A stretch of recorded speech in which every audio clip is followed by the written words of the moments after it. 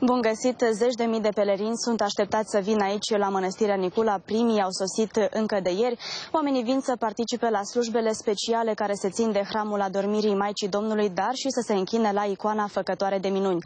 Mulți aleg chiar să-și petreacă noaptea aici la Mănăstirea Nicula, sub cerul liber sau în corturi, așa cum puteți vedea chiar acum, iar asta pentru a participa la cât mai multe slujbe. Astăzi slujbele au început încă de la primele ore ale dimineții și vor dura până aproape de miezul nopții, iar mâine când sunt așteptați cei mai mulți pelerini, începe procesiunea din orașul Gherla către Mănăstirea Nicula, procesiune care este condusă de înalt preasfințitul mitropolit Andrei.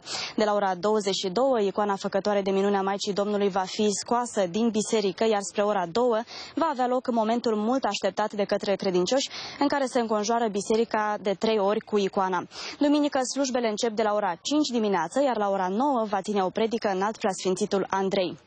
Este important să știm de asemenea că aproape de mănăstire aici, la câteva minute în satul Nicula, este amenajat în aceste zile și un centru de vaccinare anti-Covid-19. Organizatorii spun că pe toată durata evenimentului se vor păstra măsurile de distanțare, iar credincioșii sunt sfătuiți să poarte mască de protecție. Anul acesta însă numărul participanților nu este limitat. Atât deocamdată de aici.